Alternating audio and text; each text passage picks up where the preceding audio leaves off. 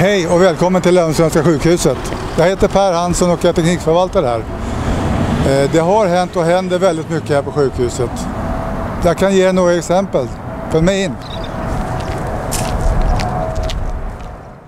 Löwenströmska sjukhuset har precis genomgått en omfattande teknisk upprustning som pågått i flera år.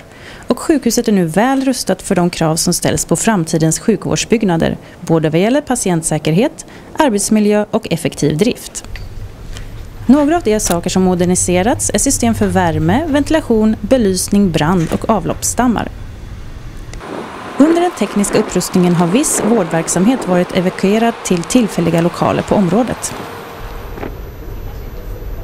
Här står vi i ett av fläktrummen där vi styr och reglerar fastighetens ventilation.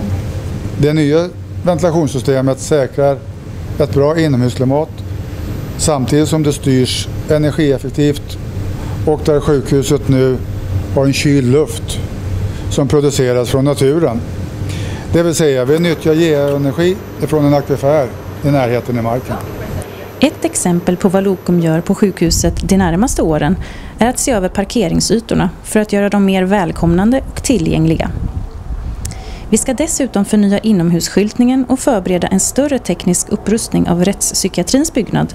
Ett projekt som startar 2021.